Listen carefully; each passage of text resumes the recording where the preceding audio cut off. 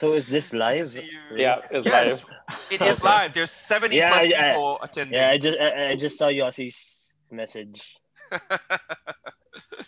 yes. So, anyways, uh, let's do it uh, very uh, properly and uh, professionally. So, Hmm. like, uh, I do have our starting slide. So, yes, welcome everyone to uh, our third uh, panel of the day called "Congrats on Your Co-Production." Now what?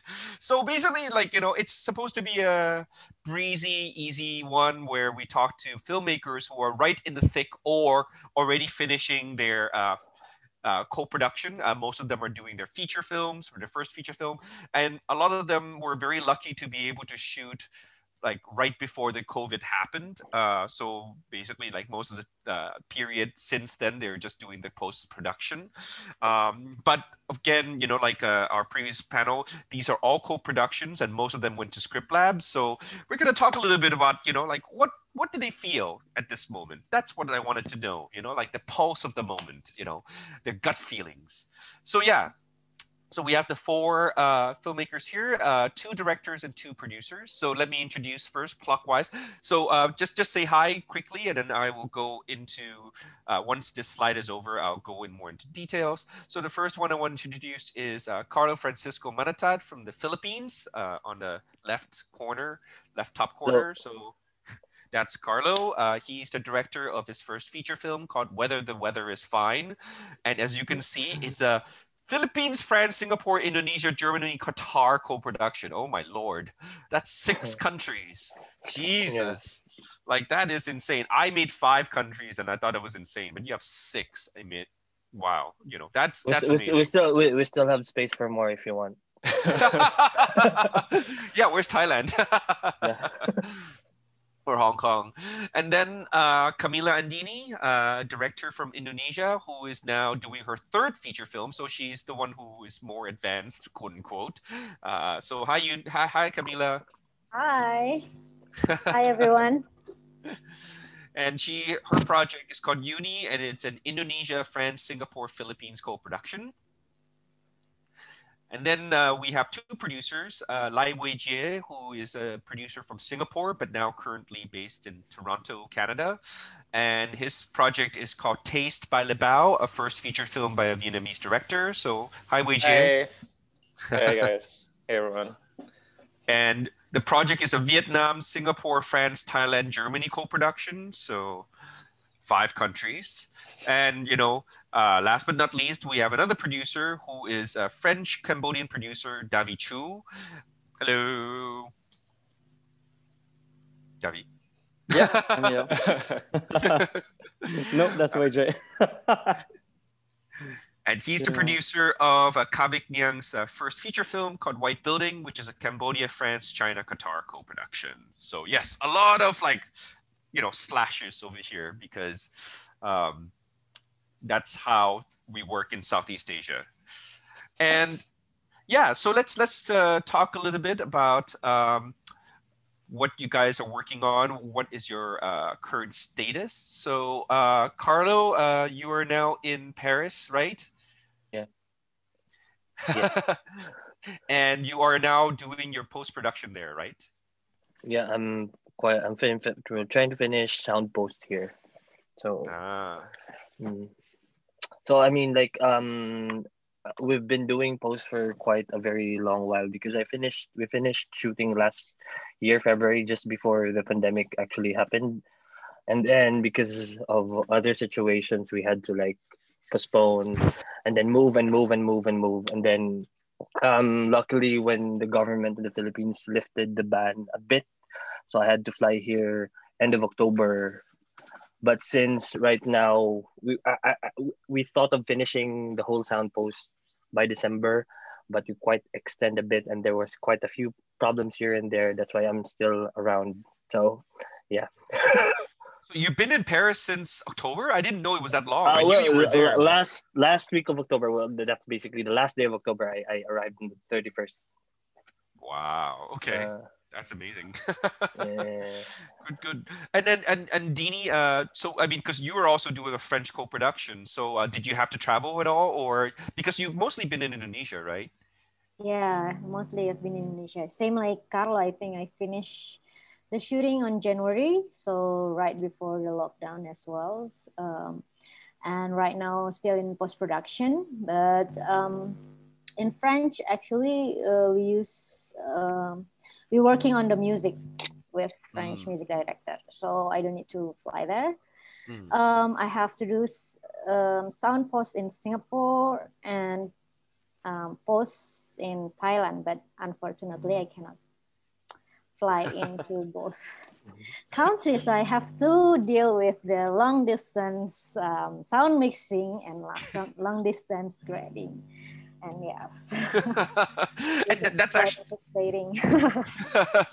and i think that's actually one of the points i will be talking about is you know like how do you do a co-production during covid? Because that's one of the things that you know like it's such a pain because you're supposed to be traveling and you're supposed to be doing these things and you have requirements. You have to do them in in these places and then but you cannot fly. So what do you do, right? So yeah, uh, yeah. and um, Weijie, like uh, mm-hmm. you know, what's your calendar? Because the film is pretty much done, right? Lebao's film taste. Um, we're we're basically done, but similarly with Carlo, we just we're just well, I mean, maybe he has other things as well, but we're we just have the sound mix left, the final mix. Mm. Um, so actually, Bao and the Vietnamese producer Tao, they're both um, quarantining in um, in Cambodia at the moment. Oh wow! Yeah. Okay. And that's the when, last stage. Yeah. When did they finish uh, shooting the film? When did you guys? We shoot? finished shooting. It feels so long ago now. Um, in 2019, I think in August. I think okay. in August, and then oh. um, we we you know pre-COVID time, so we cut the film in Thailand, and then the last time we all saw each other in person was in February. Actually, we, we hung out with um, Davy um, in February right. in Paris, and that was in Paris. Yeah, yeah, and that was um, to do our color grade, and that was the last time we saw each other in person. and how about Davy? Like, uh, what's your current status with um, so the film White Building by Kavich Neang was shot in Cambodia in October 2019. After which uh, Kavich and it was planned throughout the co-production with with friends. And I think the four project mm-hmm. did receive a CNC at the Cinéma du Monde, correct? Right. Exactly. So We're going to talk with the that, obligation yeah. of mm-hmm. expanding France, uh, Kavich uh, fled to France uh, for two months and a half to do his editing, which he finished in March. And yeah, COVID really started strong in end of March, so he just fled at the right time. And he was supposed to come back for finalizing his uh, color grading, but he couldn't. So it was a very difficult year of trying to see how we how we will do things. We were hoping to bring it back in September, and then we canceled at the last minute. It's come back to France in September because that's exactly the second wave uh, was happening mm. in France. And so finally, we find a way to do distance color grading, which I was very afraid it wouldn't work, especially with the facilities in Cambodia, the internet speed and stuff. That was kind of a nightmare to set up, but it did work. So we mm. were very happy. And I think at the end, mm. Kavich was pretty satisfied about how to work the process. And I think the, mm. the, the, color grader we're working with, French color grader Yov Moore, is also uh, the French color grader who worked with Lebao's film. Mm. Uh, and we just finished mixing, I mean, uh, December, just before Christmas. So the film should be finished in the next weeks. I mean, I'm waiting for the final DCP uh, to test. That's So that's, that's at, at the end of, after losing one year, that's a pretty good news. Okay, great. David, great, great. David says, send us the link. exactly. No, I mean it, it, it, it is it is quite rare to have you know like these films that were basically shot before, right before COVID and then now it's stuck in co-production you know like yeah. uh, logistics basically because i mean like let, let, us explore that a little bit first you know like let's go back in, in time a little bit and uh, why did you decide to do co-productions and you know uh, or like uh, and when did the project even start so like carlo because i know you're project was really like in development for well let's be honest really quite a long time. Uh, when did it start uh, developing whether the weather is fine? Because it, it, had another name right? Back in 2013 or 14 yeah it was um, a wrong season. So 2014 we started uh, but we, I, I mean like me and Armi did not really think about it being a co-production a film for co-production. Um, I was just I, I was eyeing for a local film festival to join the the film into which luckily we got we got we got in but mm-hmm. I think the game changer when we really decided to try and explore how co-production works was when when we got into this local festival who gives grants at the same time we actually got into La Fabrique du Cinéma du Monde in Cannes right um, and then their thing was like you can you can join, but it should be the film should not be shot yet. Should be mm. either in in pre-production or development. So we had me and Armi had to decide in a way where do we go with what I want, like the local festival, which I'm just given like almost just three three to six three to five months to work on the film and make the final film and show it to the public or we do we try this um, international thingy which i really don't have any idea before and let's see how it goes. So from from that point on forward after our experience with with la fabrique i think we kind of managed to like decide and try our our luck with with doing co-productions. But we were very very young before like we really didn't know how how it would how to go about all these things and what, what what are labs how do how to do workshops how to do uh, with fundings and all something like that. But i mean like right now we're here already so i mean i mean nice and of course you, uh, you went to Torino Film Lab also to you know to to, to work on your project. So I mean, like, was yeah, it yeah. was it something um, that you um, just decided to do, or what, what why why did you? It was it, it it was a mutual decision with within the the group because like um when we did um La Fabrique. I, I felt the urge to like let's try this co-production thing, but I really we really don't know about it, and then um, we were trying to get co-producers to go on board but every time they would ask us like oh, when do you plan to shoot? We plan to shoot this year or next year and they would just like either laugh or like okay let's talk with your next project. We don't want to be part of a project that wants to shoot like really really fast with all these. They, they, they really want to be part of the like the process of development and all that thing. But then again and then also they they were not quite confident with regards to me as a director. That's how I mm-hmm. felt during that time, just because I think the work that I always present to them, they would said either it it was experimental, which I feel is not, or sometimes non-narrative. and before my my my work, uh, the the the uh, the feature project was more classical in essence in terms of like the how it's written. So they said like give us confidence of what of, of, of that you can do something about it. So we, we tried applying at this it was on the same year we tried applying for TFL, Torino Film Lab. And then I, it's the same year also I, I made Jodilerks to like show the producers that I can do something different. At the same time, I, I got to in to both sections like Torino and then we got to Semaine de la Critique.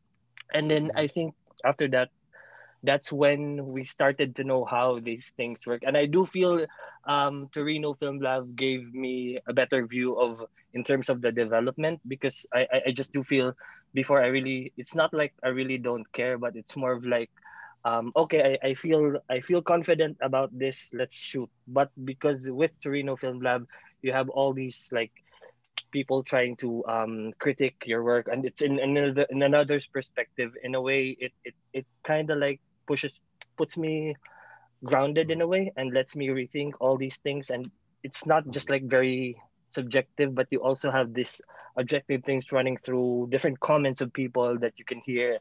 And then you just realize like uh, i need more time to work on it. So i think that torino film lab was really really really special and it, it, it was very helpful for me yeah because i mean like you know like not only were you developing your project at that time you were shooting short films and like you said you, I, you did a, uh, a, short film that was uh, got into cannes uh, Joni Lertz and then of course then later on you did another short film that got into toronto. So in some ways for you to prove yourself you made short films at the same time you know during the same time as a work in progress in some ways right? So that yeah. kind of also helped to kind of actualize your feature film. Yeah but also in a way people would think like six to seven years is really really long of a of a project being developed up until it is being shot. But i think it, it helped me shooting shorts.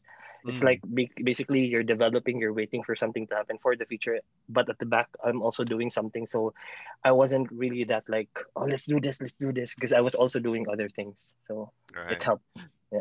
Uh, yeah i mean but but i mean like so so the, the main question is you know do you regret do you regret it because you could have shot it in three to five months or you waited seven eight years um, no no no no no no no i mean there are a few struggles very um obstacles here and there and like a few problems here and there but I don't regret the the fact that I chose to do this very long process of doing a film. So, Mm, okay. Good, good, good. And then very Wei Jie, diplomatic like, answer. yeah, I mean that's good. We'll, we'll, we'll get less diplomatic as we can on. Well. go on. I'm just kidding. so so Wei Jie, like um you know I think you know like of course you know like uh you're the producer so it's slightly different but um Mhm. was it also like kind of like a situation where you know you tell the director oh we do a co-production and then like what what was the kind of communication between you two for you to decide to basically like you know do this long-term development do co-productions go to labs what was like like was Mhm. it like Yeah. I mean, in terms of timeline, I came on board the project in 2016. I think they had been developing the project for maybe a year or two prior to that. Um, and I, I don't think necessarily, I think similarly with Carlo, I think at the start, it wasn't necessarily that we're thinking, oh, you know, we want to do a co-production or something. The, the first sort of instinct was to, that, you know, this was a, an idea that we all liked a lot. And it was, it was more about the development. And then um, the co-production thing was maybe at the back of my mind because um, the project that I, I was do, I did prior to Taste, um, Popeye by Kirsten Tan, um, we had had the opportunity to go to places like you know um, yeah Torino um, Film Lab and to Cannes Atelier, and then we had the opportunity to meet with you know potential co-producers. But um, with P- P- Popeye, um, ultimately we decided not to. Um, Mhm. You know because maybe it was you know for that particular film it it the arrangements that we came up with Mhm. worked for that. But then um, you know it was at the back of my mind for sure when when I was working on Taste. Um, but actually, the way it happened was while we were developing, because of the relationships um, from previously from Popeye, um, the um, Mathieu, who was at Torino Film at the time, had contacted me, and then Georges from Cannes Atelier had contacted me to ask, you know, I think once in a while they like to keep track of, you know, what projects are being made and things, and they asked me what I was working on, and um, I remember being the process for Popeye being very positive, going for these um, for the project market Atelier, and then for the lab um, at Torino, and um, and then I told them about the project.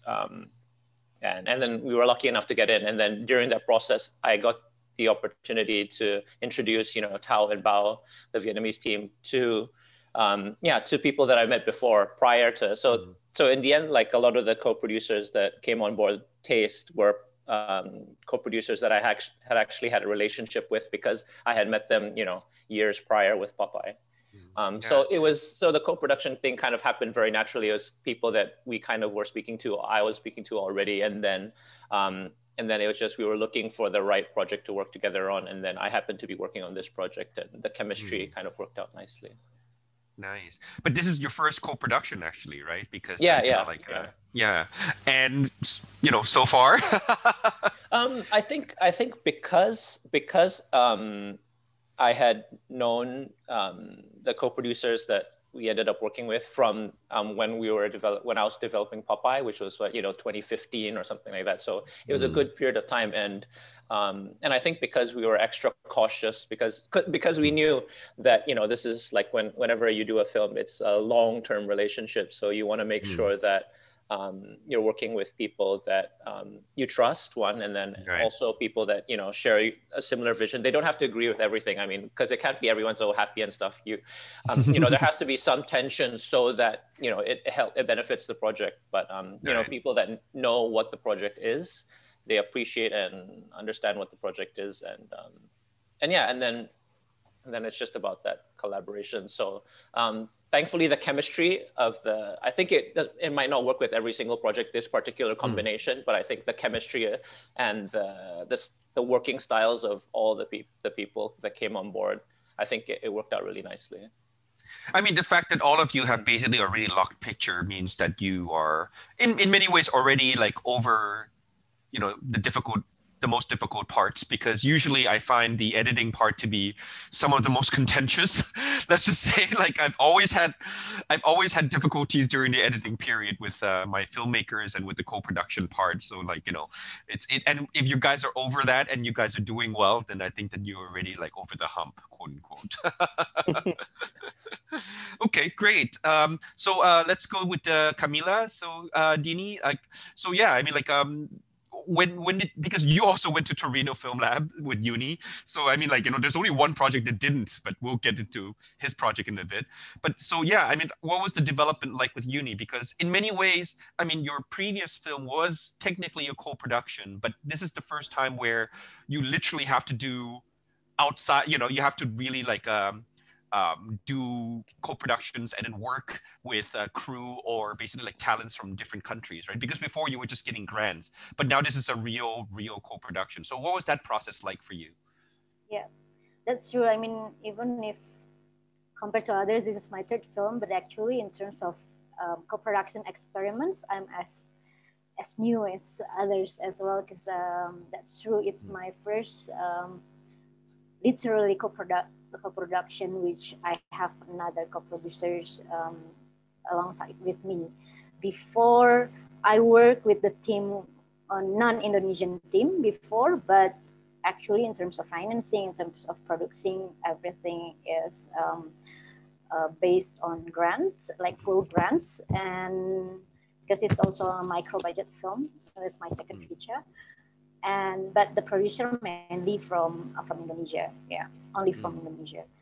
Um, so yeah, finally the the third feature I got to to try this um, co-production experience, this whole co-production um, development until until now, until the post-production, which um, gives me another new experience as well. I mean, first thing is um, finally I got to to make my film with the proper camera. and proper Before budget. I used mirrorless mirrorless camera with my previous film. So mm. um, so yeah, I got to do with a proper camera, which is nice. Uh, but the other thing is, I think uh, creatively, um, usually uh, when you make a film, especially this kind of film, sometimes you have to deal with it with years, like you handle it with, with within years, like six years or three years minimum. And I think creatively as a director, you always need, uh, uh, you always have to create a, a, proper distance. Like distance is quite important with you and your mm. story and your subject as well. Like you have to create a proper uh, distance with your story. Like you cannot be very close, but you cannot also very mm. distance with it. And there are so mm. many ways to to to do that. And especially when you work on it over years, sometimes you're just very close and to it, and you like there are times when you feel like you know it a lot.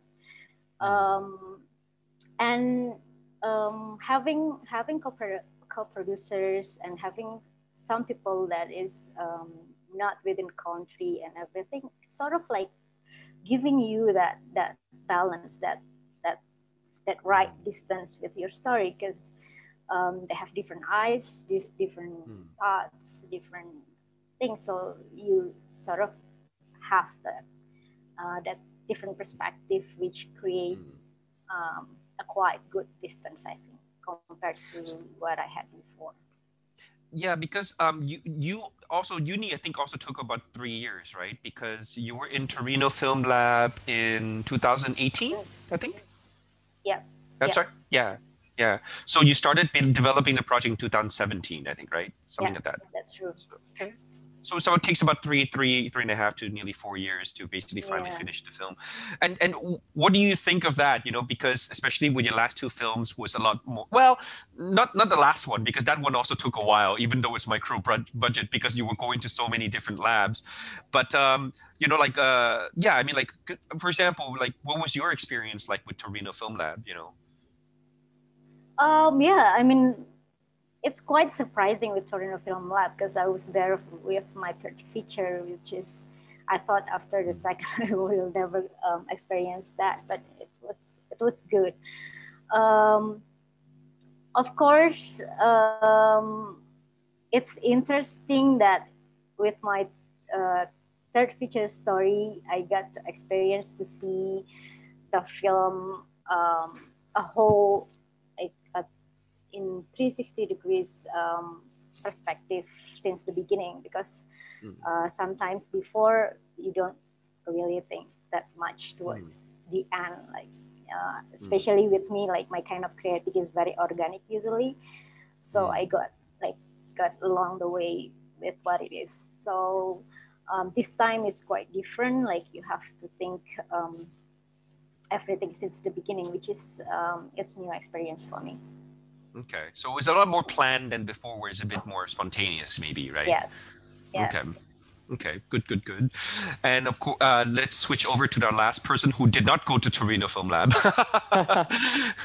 so uh, Davy Chou, Davy Chou and uh, who basically briefly showed up, his director. So yeah, I mean, like, because uh, White Building was also a project that you know was just dating for quite a while, and you know, like it was something that uh, you know you worked on for quite a while. In fact, you know, work you worked on for so long that the actual building that you wanted to shoot in was destroyed, destroyed and then you couldn't shoot them anymore. and then so you had to figure out a way to basically like do the film without this building anymore. So what was your, that process like then?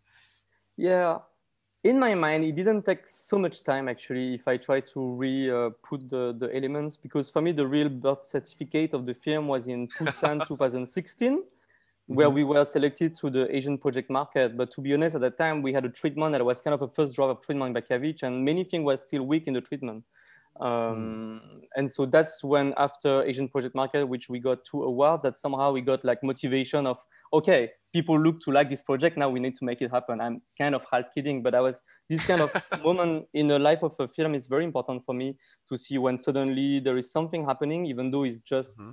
something out of pitching and, and for all the teams suddenly it becomes real. So I think that mm-hmm. the real development of the project was really 2017 and 18. Mm-hmm and the plan mm. was to shoot at end of 2018 and somehow we didn't get all the financing in place as usual i also got busy with a bigger project french production that i was line producing in cambodia and so it got delayed and mm. for the season and to avoid the rainy season in cambodia basically people all want to shoot at the end of the year each year so when you don't shoot in 2018 mm. end of 2018 then we had to shoot in end of 2019 which was what happened but mm. uh, regarding the co-production, for me, I will say it's pretty natural as a producer for me to think of a co-production because uh, Cambodian film industry is, is, still too small as a market, a film market. Mm. It's still also a very like growing film industry that is still in the kind of early steps.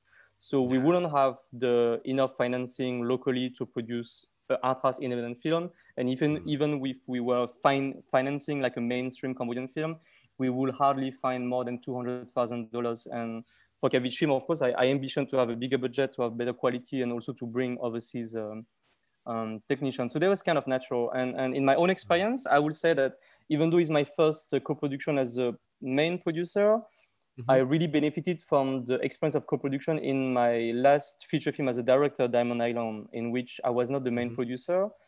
Um, mm-hmm. But it was a French producer, my producer Charlotte Vincent from Aurora Film in France, and she had experience in co-production, even though she haven't shot a film in Asia. But I really mm-hmm. could learn everything and all the steps of how to make that kind of international pudding working. And Diamond Island was like French, Cambodia, Thailand, Qatar, Switzerland, and Germany. So that was still right. bigger than what we did on White Building. So I was not afraid of that. And the last mm. thing is that since the beginning, we had the French co-producer because I that's a French uh, woman named Marine Arrighi, and she's happened uh, to have a, Cambodian father and a French mother. And we met mm. back in 2012 when I was making my after I made my first film Golden Slumber, and then she liked the film, so she met me to talk about potential collaboration as me as a director and her as a producer. But I already have the producer, so we discussed, and somehow I found like, oh, maybe you want to produce with me Kavich Neang, which I believe it's the real talent of Cambodian cinema. So let's do it together. So since that moment, which was in 2015, we started collaborating on Kavich short film, and it was very natural for us to go on the feature film. And going back to, I think what YJ was saying, I think the trust relationship with your international producer, international producer is really what we all aim for. But it's somehow mm-hmm. very difficult because sometimes we just we need the money, so we need to find someone, and we Skype two time with them and we say, okay, let's go, but it's like a wedding, right? So after two time, how can you know that you're not making a mistake? So we did hear some experiences of frustrated experiences and and yeah, kind of like disappointed experiences of co-production. But in my relation with Marine, that was the thing that we knew each other very well. I knew that she wanted to make that film for personal reason and not like Mm-hmm. financial reason, and obviously she didn't make a lot on white building. So that really Mhm. created some kind of good, um, yeah, good path for us, I guess. Yeah, I mean, like uh, you know, as somebody who also did co-productions, basically, like my frustrations were never with my co-producers. My frustrations sometimes are with rules and regulations from funds or other places that don't make sense. And Davy, you know this. I complained at length about something that I helped with one of your applications because I they, they changed the rules since since I I, I got it. They, but because at that time when I, we first got it, we were the first to get it, and I was screaming bloody murder because I think that they're they're they're what they were asking for just made no sense. And now you don't have to go through that because a lot of that has been fixed. Maybe thanks to you. I complained a lot, but anyways, you know, like I don't want to get into it. yeah. but yeah, I mean, you know, I, I think that you know, and you know, even though you didn't go to uh, script labs and stuff like that, you know, like you you obviously like um you had uh another writer basically like come on board as well and like you know the, the creative process was it uh, something that you managed to do internally? Like was was that something that also you felt uh, was you know was a decision that you felt was the right one? Like what do you think in terms of like basically like uh in terms of like applying to funds and stuff like that you know with the scripts that you had? Mm, well, it was a long process because uh, Kavich was struggling at the beginning to write the script. So we, we brought a co-scriptwriter on board, which is an American scriptwriter named Daniel Mattes, but it was his first experience writing as well. So it's kind of an experiment for us as well. I have nothing against the lab, actually. I think I, I went to the Torino Film Lab with Diamond. And it was a great experience for me in many different of levels. Although we didn't get uh, award at the end, which of course it's like the carrot at the end that everybody hoped to to to have. So we did deposits at Torino Lab and didn't get selected, but of course that that happens. And uh, we were considering others, but somehow the, the, the timeline didn't work because we, at the beginning for the first uh, round, like SEAFIC, for example, we were not having a full script, so it was impossible for us to deposit. And at the end, because I had this idea of shooting by the end of 2018, that was finally a fake idea. I mean, the destroy idea. I we didn't. We are thinking, yeah, we we good with the script and let's go on. So it's kind of like the timing needs to match as well uh, the timeline of production. But I, yeah, I, I think it would have been good for the film to go through a script lab actually. yeah i mean you your i way. don't i don't think the script labs are necessary for every film and it even if you didn't do it for the first you can always go to the second or in Kamila's case you know with her third so there was never there's no real formula to it you know like I, but i do think it's worth it just to go through it once because once you have that experience you you really gain a lot from it i think you know like just to know like Oh, how you do things yeah yeah yeah, Yeah. yeah.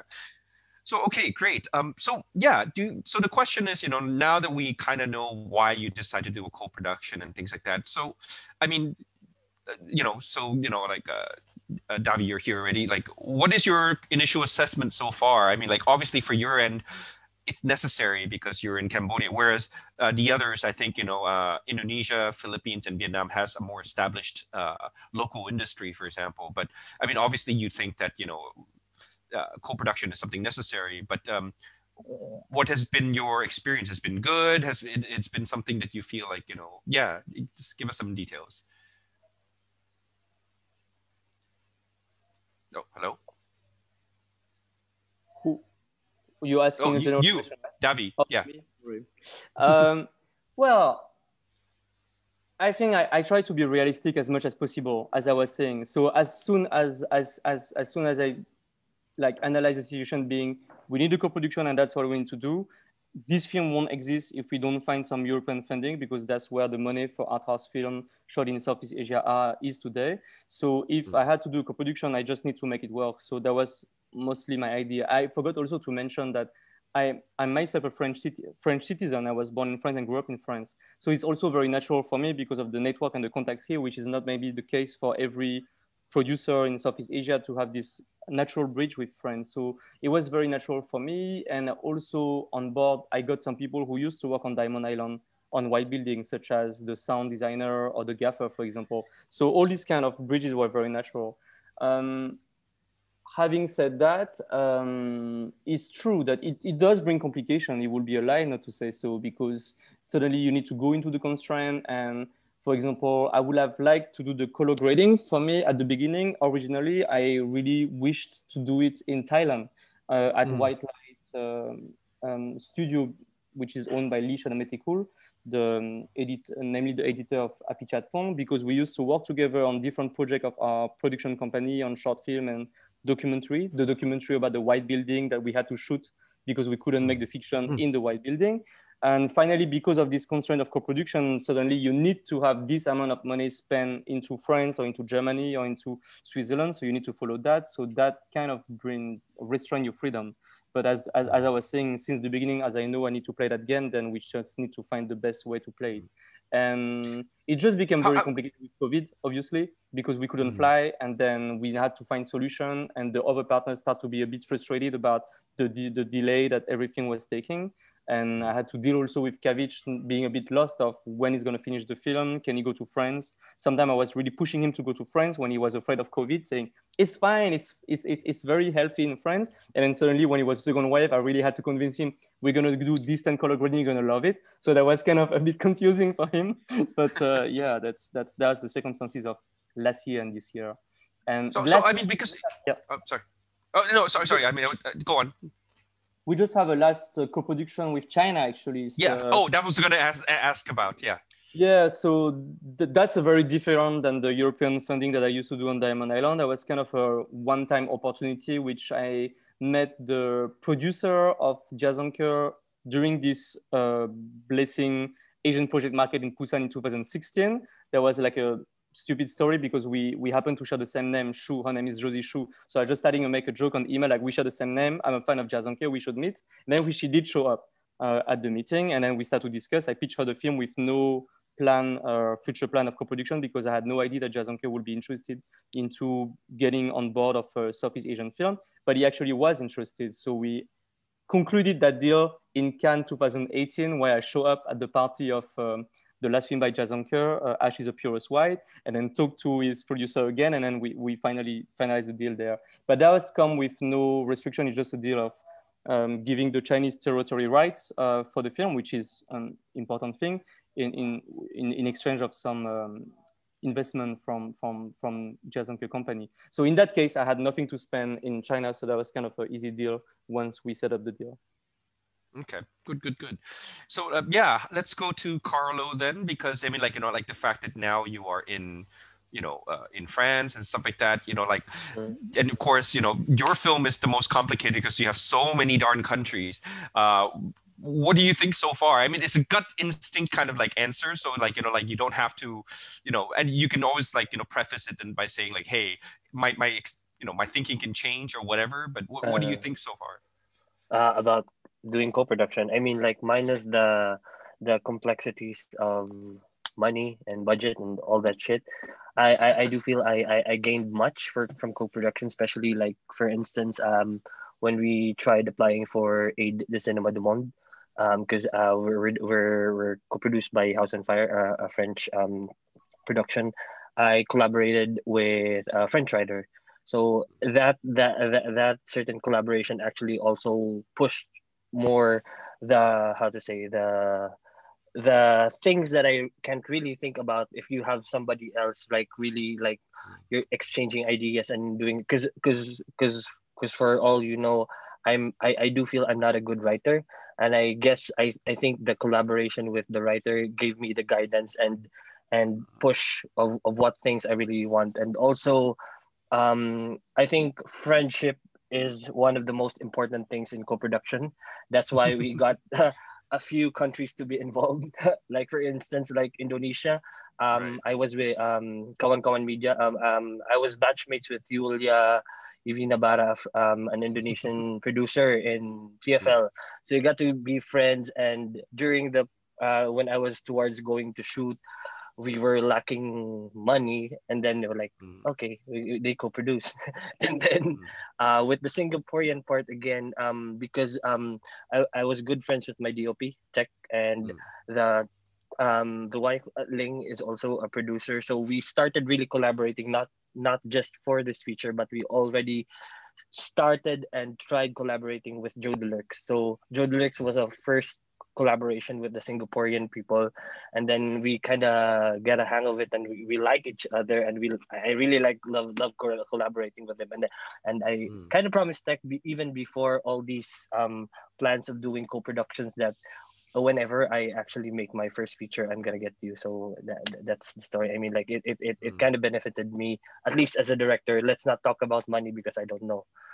but but but I think that you know that that you, you raised a really interesting point because basically like you know in Southeast Asia we have this kind of idea that oh you know the director is also usually the ma- the the the the, the writer you know to be an auteur you have to Uh, write and also direct but I think in Mm. some ways that's not always the case because if you look a lot of like a lot of like uh, directors out there, you know, like for example, Ridley Scott does not write his own films, but he still made Mm. Alien, he still made a Blade Runner.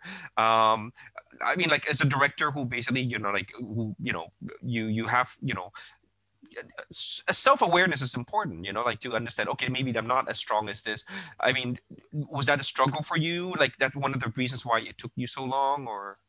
Well, I mean, like, um, firstly, when with before collaborating with a French writer, I um the, the, the writer for the film was Giancarlo Abrahan, a Filipino uh, writer Mm. and director, and Right, right. then it the firstly maybe because also when I started developing the film, it, I also started doing shorts. It was at the Mm. same time, 2014, 15, and I really, I guess I would want to say that I was I wasn't really ready or I didn't really know what kinds of films I was I wanted to do or like what Mhm. yeah in a way so the, the the progress and the process of me doing these shorts made me realize what things I want and what I really Mm. wanted to tell in a way and I think towards the end collaborating with a French writer in a way it made me ma- mature in essence of how I think so it was easier is it it was an easier collaboration but also it was Mm. kind of like um it, it, it gave me questions always like Mm. how we collaborated was not him writing and me writing and then you check this and you check that i think a big chunk of the collaboration part of writing was just us talking Mm. and the writing just came towards the end like really literally towards the end like towards Yeah. the last week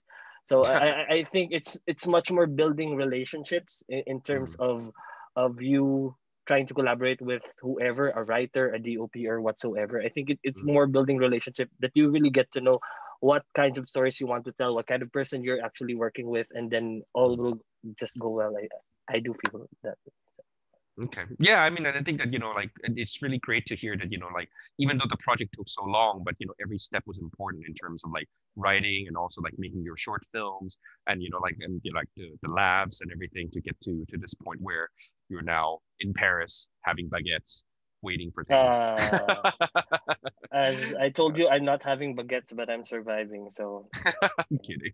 I- i'll update you thank you, thank you, We'll do.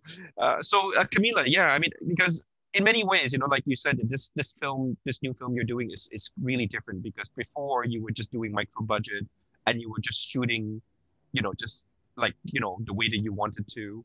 Like, what what what is, you know, how is it for you to do things in such a more, you know, um, planned and more, you know, like uh, it it just takes a lot longer. Like you know, like for you, what's the pros and cons for you and like what, what do you think about the, the whole process of co-production Yeah.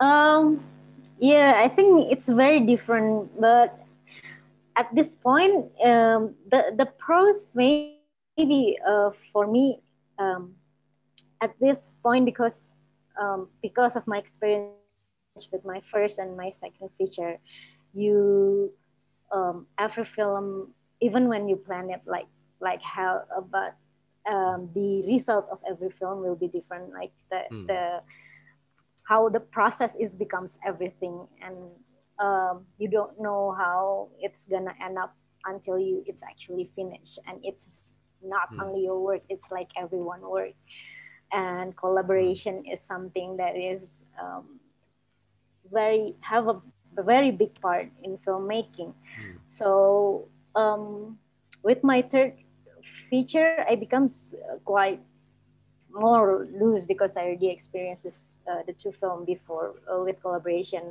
Um, I think um, what's good is that um, film actually um, re- the the most energy that is good when you make film is about trust, and it's Mhm. good with collaboration with a lot of people in Yeah. trusting you. It's it's it's amazing. I mean, um, there's nothing um, more beautiful than people having uh, to trust each other and then working to each other making something Mm-hmm. um, so i love that kind of environment when you trust someone even when you don't know them and then they trust you too and then you sort of like create something that um, that yeah um, the result is all about the process I mean, Um, oh, oh, go on. Yeah.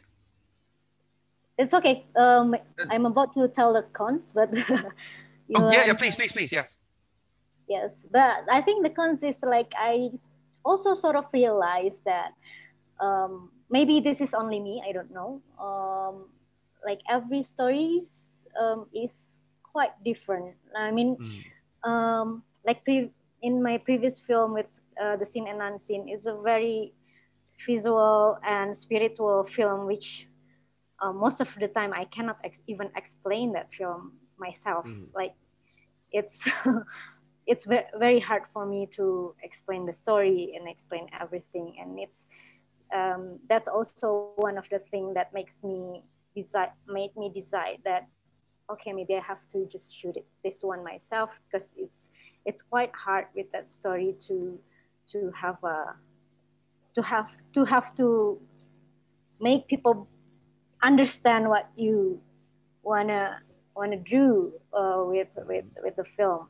But Yuni has a different thing and this is what i just realized as well. I mean Yuni is um, it's easier for me uh, with this story to to to work with many people um, Mm. not as hard as before so i don't know but that's my maybe that's just me it's my experience. Well, well, I mean, you know, in your case, you know, uh, it's also different partly because uh, your producer is this is his first time also doing a co-production because unlike you it really is his first time doing any kind of co-production right? So and of course you know like it's different also because like unlike everybody else you know like your producer is also your husband so. I mean like what, what, what do you think he thinks about the whole co-production thing especially as a first timer? Well, that's also one of the thing. I mean, he has um, he has a lot of um, energy to do this thing, which actually with my second, I realized I don't I don't have that energy to deal with Mm, co-productions with the whole what you said regulation and Mm. all the things and Mm. with Ifa he he has that energy he wants to work with it he has his vision as well Mm.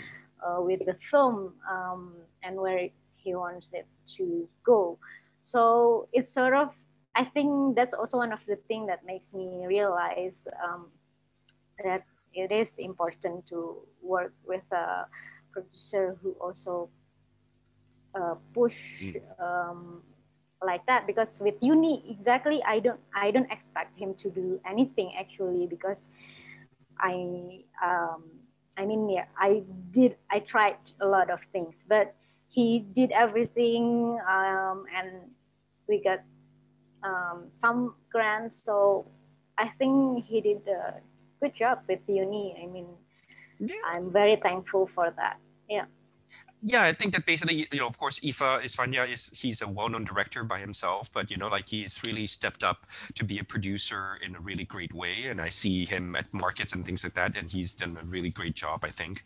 So that's one of the things that you know, sometimes a director, and of course, he's had one of his film, The Dancer, was a French co-production. So as a director, at least he had co-production experience, but not as a producer. And so the question is, would you be doing a co-production with your next one, or maybe not? or haven't decided? Um, well, I think right now co-production is something that I will always have in mind. It's just I know Mhm. that every story and every film has a different way, like of doing it, and I experience those differences. So I I'd like to try something. I mean, I I want to know more as well, like um, with my next film, what kind of Mm. um, co-production or grants or what what will happen with next. I want to try many many many different um, kind of approach in filmmaking and distribution. Okay, great, great, great. So uh, back to Weijie then. Uh, Weijie, so like, yeah, you know, uh, what has it been so far for you? Because your case is really different also because your director is Vietnamese, the project is totally mm. Vietnamese, and you're totally not Vietnamese, and you can't even speak Vietnamese. So how does it work for you? um, I mean, co-production, because I think as the others have mentioned, because co-production takes a while, I think that um, it kind of worked with taste in the sense that it, it was also the process of um, you know shaping the project and mm. and things like mm. that. So it it it took that necessary time as well. So I came on board the project 2016, and then so the timing just kind of naturally worked out. We shaped the project for a year, and then it went mm-hmm. to Cannes Atelier, went to Torino, um, you know, and then at that point we found our our partners, and you know, 28, you know, we met them in 2017, and then mm. in 2018, 2019, you know, they started to come on board officially, and we started to apply for all the things, and then we shot in 2019, and you know, so I think the the process of development and the process of collaborating with the co-producers kind of worked out naturally and and like you said mm-hmm. it was more opportunities for me to visit vietnam to really get a sense of um, what was happening there and and you know what the what bao wanted to do um, mm. and and and related to like the i think some some of the other speakers have talked about it as well the spending obligations. I think because of if you accept the amount of time it takes to you know to apply for grants and to go through the logistics and the things um, because and because we we had a certain relationship before and we were ha- having the discussions all the time um, we were able to so very early on you know say okay this is what we want to do here this these are the people that we want to work with so it just very naturally as the time was being taken you know waiting around for for results and things like that that um to, to carve out what you wanted to do in all the different countries mm to fulfill the obligations. So, um, because there were those gaps in time where we were waiting or doing preparations, um, it was it was it was not as hard as as um, we would have thought to meet the different obligations. It kind of happened mm. organically. mm but, but do you find it a little bit difficult because of the language barrier sometimes? Because, you know, obviously the, the project is in completely Vietnamese, you know, mm. like the, the film is in Vietnamese. Do you feel like as a producer, basically there is a certain distance away from it? Or you felt that basically like, despite that, you know, you were able to really work very well despite the language differences? Yeah, I think so. Um, I mean, of course, it would have. I, sadly, I'm terrible at picking up languages, even when, I, when even when I was working on Pop Aye. You know, um, whereas our other, uh, our assistant producer at the time, who was like a fully fledged producer now, and she picked up Thai like really, really quickly. But I'm, I'm just like really terrible with languages. So unfortunately, I still couldn't pick up like um, Vietnamese. So I can say like maybe a couple of phrases. But um, no, I think that the, there was a common understand. I think there was a common understanding on what the mm. film was. Um, mm-hmm. it just took, you know, it just maybe took a little bit longer to go through the translation process. But I think um, sometimes it's not so much words as well. Sometimes it's through through images, through watching films together. Um, those kind of more maybe like stuff that's not in words, like more visual or abstract. Those are the things that helped us to get closer to and and to come to an understanding of what the project is.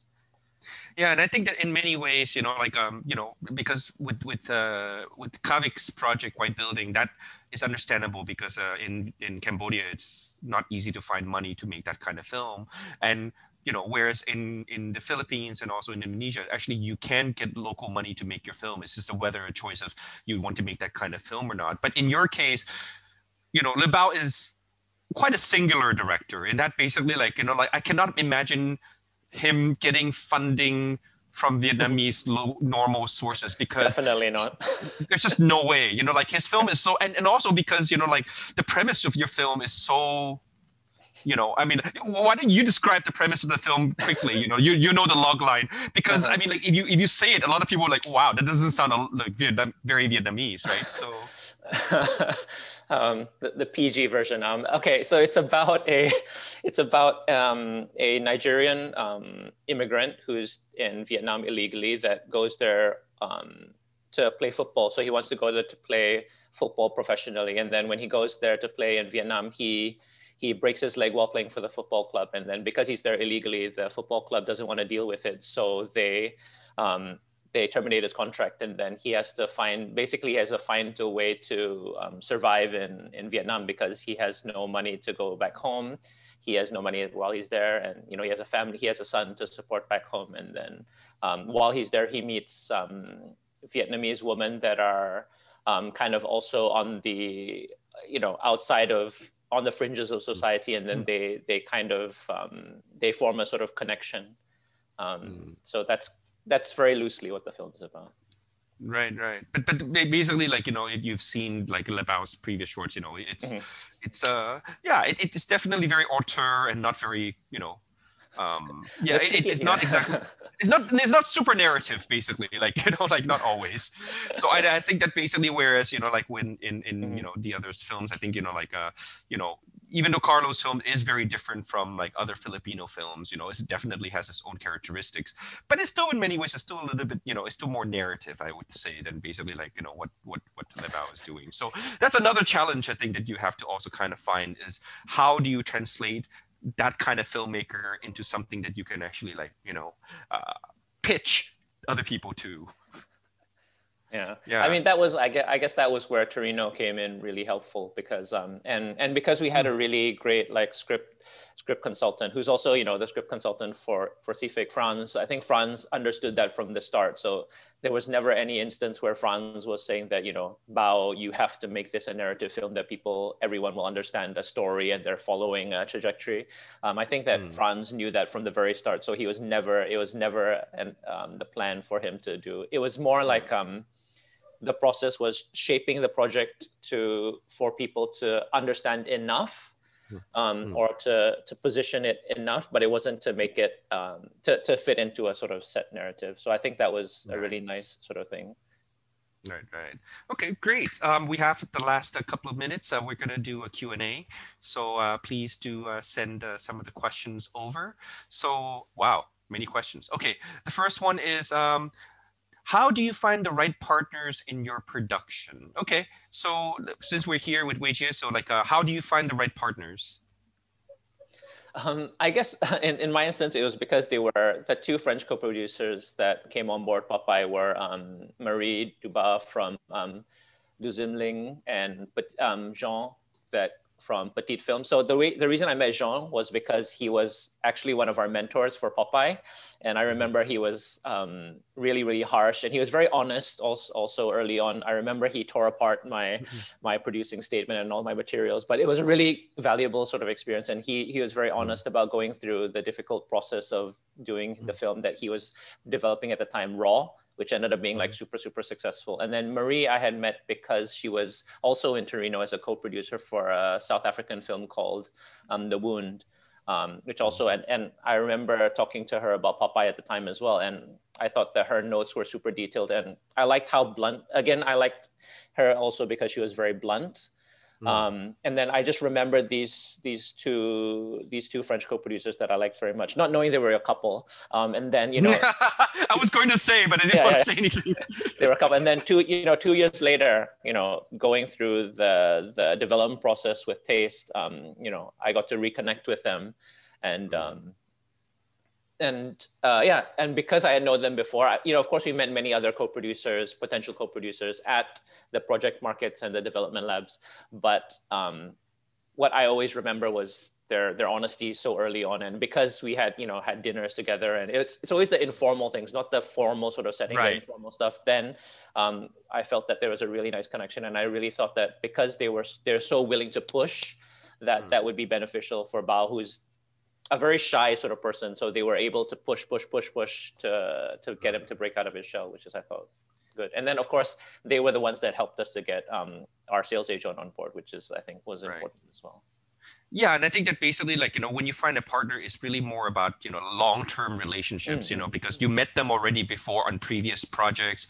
You know, like you you you kind of like you know like establish these re- relationships based on long-term stuff, not just basically like based Yeah. on you know like very short-term things. Um, and same with Davy for sure, because you know you mentioned that these you know like the other producer is somebody you know since 2012, and you were going to work together. Blah blah blah. Yeah.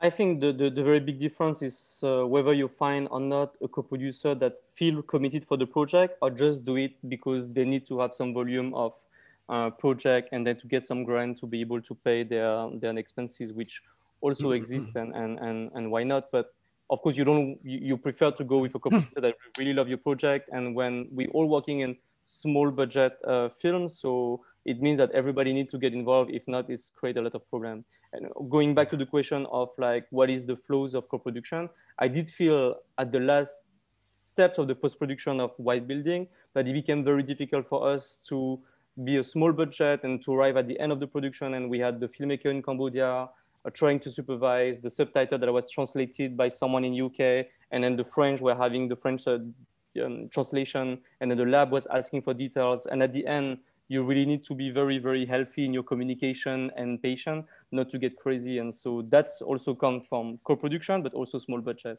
So in that case, a producer and co-producer will really get involved in the film and you can build that trust long-term relationship. Mm. That's definitely the best. And I will also um, stress the fact that it's good to have a co-producer who has his good network locally in his country because he's going to bring you technicians, he's going to bring you post-production facilities, and if they're already well uh, set up in their own uh, country, it's extremely useful for you. Mm.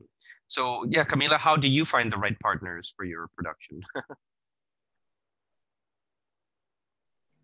well, I think um, that's also when when your previous work also important, I think, in this case. I mean, um, we, like partners, um, I found par- partners that how uh, they can trust on me because they see what I did and and then you know when you talk about it, you know that mm. okay, um, they trust your you as a as a talent, they trust your story. Uh, uh, because also they know what you did before. So maybe also I think that's why it's important to have uh, previous work um, uh, in mm. this case to as something that you can talk about with those people who wants to be your partner, so you know um, mm. how much you connect um, with them. But I think, um, I mean, you're not you're not gonna make film once. I mean, you you will make film many times. So um, hmm. sometimes um, for me uh, you not always fit in the first um, in the first time anyway and it's okay i mean hmm. sometimes um, you don't know what you need as well maybe in the first time um, so you try things um, and you know then the next time you know what you need and you know what you want of looking of partners but i think in even though you don't fit uh, you have just I think I believe that everyone um, will give different value in different way um, into the project um, anyway. Um, mm. So yeah, I think it's important also for you to believe that um, as hard as it is, but all people will give you a value um, in their own way. Okay. Uh, so, uh, Carlo, uh, I'm going to spare you this question, but I actually have another question for you, which is uh, submitted uh, by somebody else, which is specifically for you.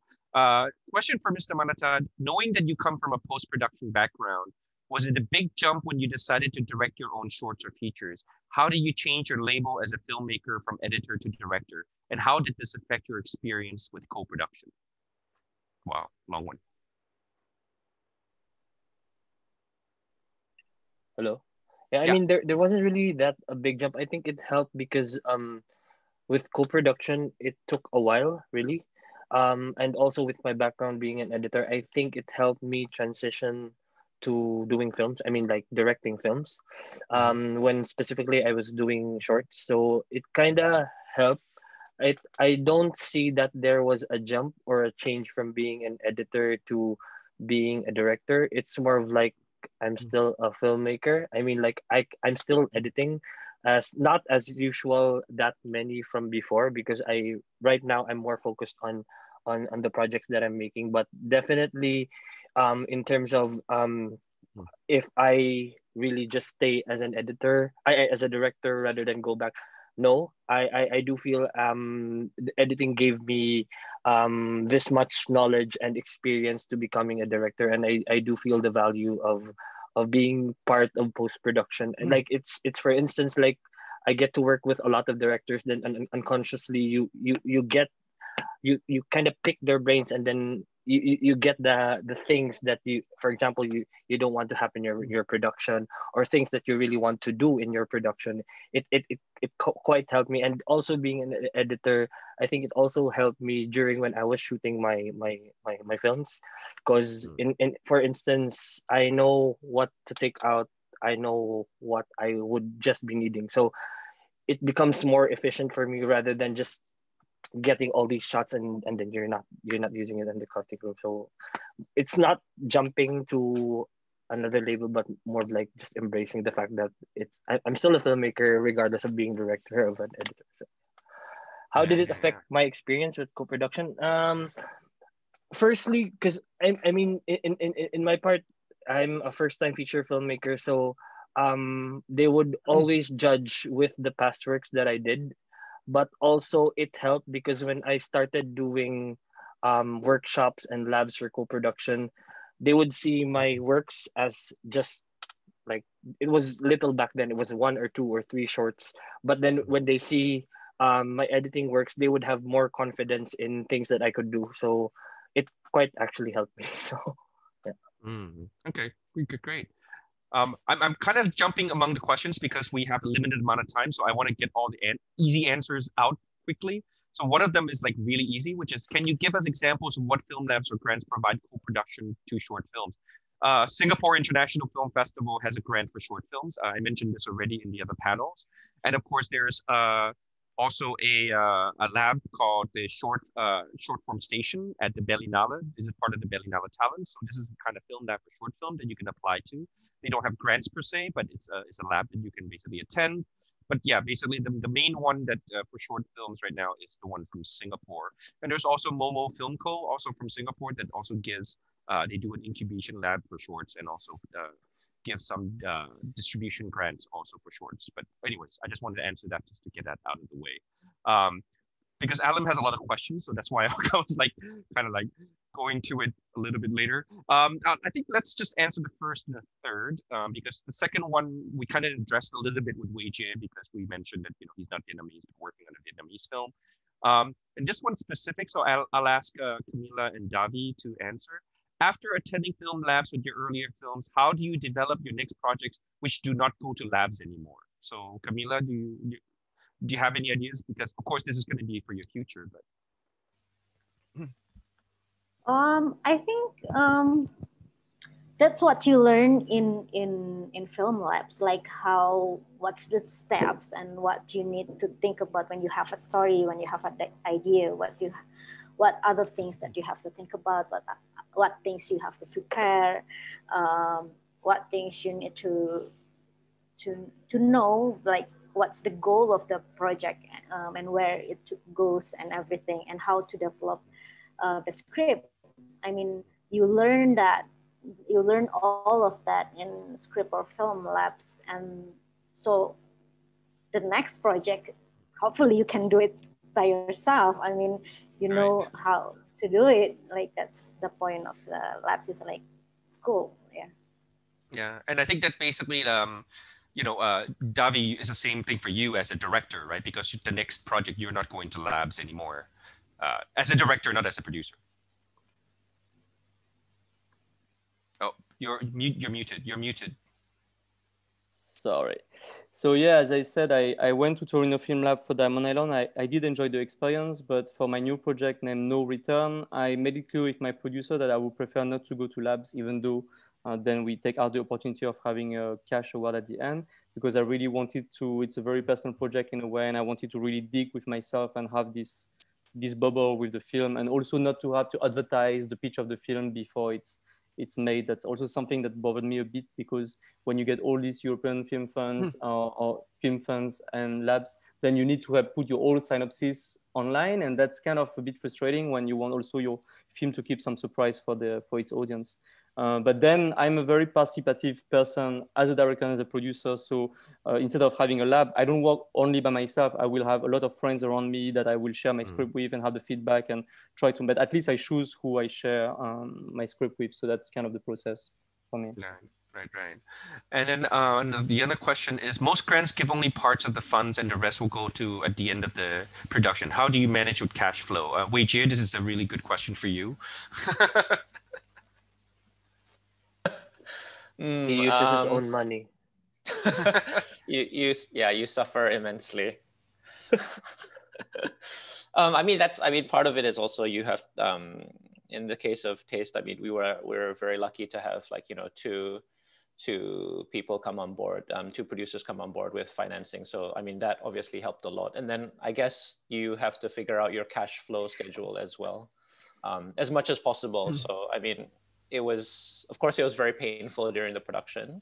Um, so, um, you know, when when cash needs to come very quickly, it was very painful. But um, it's yeah, it's it's just a really painful thing that you just have to manage, whether it's through your cash cash flow schedule or to find find you know ways. Find I ways. mean- that sounds very obscure. Wow, exciting. yeah, I know. Like, wow, what did you do? You know, did you sell Rob your kidney? You're like, yeah, rob a bank. I mean, like, you know, the mind is like exploding with possibilities. if you love a project enough, there there's many ways that you can figure things out. Wow. Still mysterious. Exactly. I, I, now everybody's gonna be like, you know, like really curious now. So that got questions more for producers, obviously. So uh, Yeah, is sec- so- yeah. in our case, uh, in France, you do have banks specialized in films for Mm. film loans. So their name is Cofi Loisir and Cofi Ciné. So they kind of have specialized bank who know exactly the business because there's so many film produced in France and distributed. So we did that for Diamond Island, but I was not in charge. And we did that hmm. for White Building. I was not directly in charge because that's the French producer who's going to go to the hmm. film bank. But of hmm. course, as we have this very trustful relationship and we share like nearly 50 50 of the film, so we were really in the discussion. And the, the bad thing of it is that you're going to pay a very, very, very high interest rate. Mm. But well, that you need the money to make the film. So let's say in the example of White Building, the, the budget of the film is a bit more of uh, half a million dollars. And obviously, a lot of the funding arrive when you deliver all the films. So you don't have the money when you need to make the film. So the French producer made a long negotiation with the French bank specialized in film, showed them all the contract that we had, decided how much amount that we wanted to have the cash flow for in advance. And that's how we, we made it work. So at the end, I was very afraid with COVID because when you delay one year post production, that can be very complicated. But I was lucky enough that the French producer had some kind of cash flow on other project, so she could secure that. If not, it would be very complicated for us because for a very small company in Cambodia, we didn't have any cash flow in advance. So yeah, we could make it work. So so far, it's still okay, but we still now not having accomplished the film and finishing the film, so we still need to look for the money to come. Yeah, I think that's one of the weakness in uh, Asia is that we don't really have this kind of system of bank loans Yeah. for uh, uh, film projects. Um, because like what we did with some of our projects also previously was, you know, like we had, you know, bank guarantees uh, in Germany and stuff like that, that helped us to basically cash flow the film. But uh, it, it's something that, you know, it just doesn't exist in Asia and in Southeast Asia. So this is why we do co-productions. Yeah. So to be very concrete, because of that cash flow problem, I had some time to ask some funds to really sign with the French producer, so the French Mhm. producer can show that this contract is affiliate with them, so they can ask the French bank to make the cash flow advance. And if it was Yeah. Antarctica who was the main like, uh, and and yeah, that that's something that, and then you really need to trust your co-producer, of course. So that's kind of a very big thing. Yeah, just just to reiterate what Davy said, yeah, because we had the trust with our co-producer, um, they and because you know they had managed a lot of you know solid productions before, that that helped in terms of, and then because we had these grants guaranteed in terms of the disbursements of cash, they were able to, um, you know, give us some when we needed it earlier. Right. Right, right, right. Okay, we're done with that one. So um, we're gonna just go a little bit to 920. Um, so just six more minutes. But uh, there's an interesting question here. Isn't it difficult to get a foreign co-producer, especially when script or story is specific on the culture of the director or writer? Do you still keep in mind how the film will affect a certain cultural impact to the audiences who will watch from the main country of production?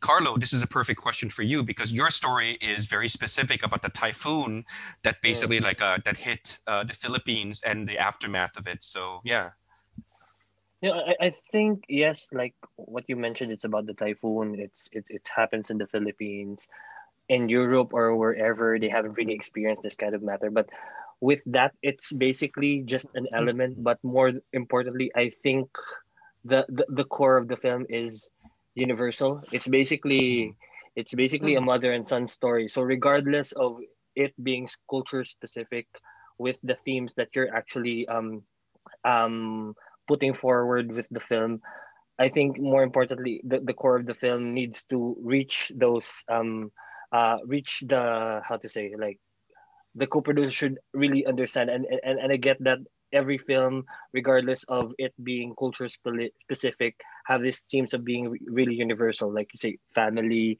friendship um love th- those kinds of things. So regardless of i mean it, it also in a case that when you present something that they really don't understand or not within the reach of of their mindset as as their culture that they have um, it also helps you in a way like me as a director because in a way when you show the cut they would have things to say and um, things that go go on their mind which actually when you're trying to do the film or collaborating by writing and when you're actually shooting you keep in mind things that you can actually change for mm-hmm. for, for uh, for in a way for it to be more understandable and universal but but still keeping the things that you really want for the film. So i think more than it being culture specific the, the film needs to have this universal touch of things that i mean those kind of things that i, I mentioned. So yeah.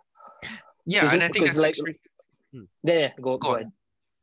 No no no. I was just gonna say that you know like uh, yeah exactly. Like sometimes it's just a matter of uh, you know, uh, just finding the universal themes within your very specific local film, you know, because it yeah. can be completely local, but as long as people can, you know, like, uh, you know, you make it relatable to other people, you know, uh, it's just a matter of just basically like knowing and understanding how other people understand your project and making sure that they also get the, the, the, the context you know yeah right? yeah context and, and sometimes even even me like sometimes i watch a film i don't really understand but i feel something and that's i think that's also one of the most important factors of of of, of a film it's like it, it hits you and mm-hmm. sometimes when you go out to the movie theaters or like wherever you watch it you still think about it regardless of you understand this part or whatsoever or not it, it still it still has an effect on you so i think that's the most important thing yeah.